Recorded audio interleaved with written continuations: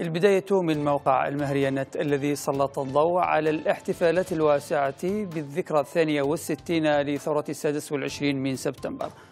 وقال إن الذكرى تأتي في ظل تمسك اليمنيين بالثورة ومبادئها أكثر مما مضى خصوصا في المناطق الواقعة تحت سيطرة الحكومة الشرعية. وبدأوا في هذا العام بالاحتفاء بهذه المناسبة منذ بداية الشهر الجاري.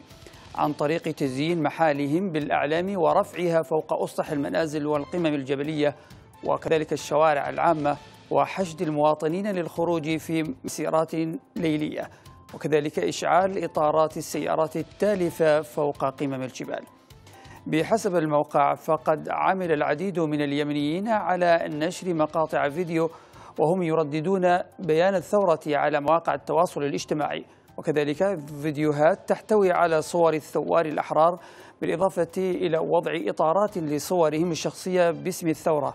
صحفيون قالوا في تصريحاتهم للمهرينت أن اليمنيين اليوم متمسكون بثورة السادس والعشرين من سبتمبر وأهدافها ومبادئها كما لم يتمسكوا بها من قبل لأن الجمهورية تتعرض لأكبر حرب في تاريخها.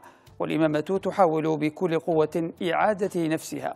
لذلك يرى الشعب نفسه ثائرا ولا شيء يشغل اهتمامه وتفكيره أكثر من الثورة والتحرر والجمهورية.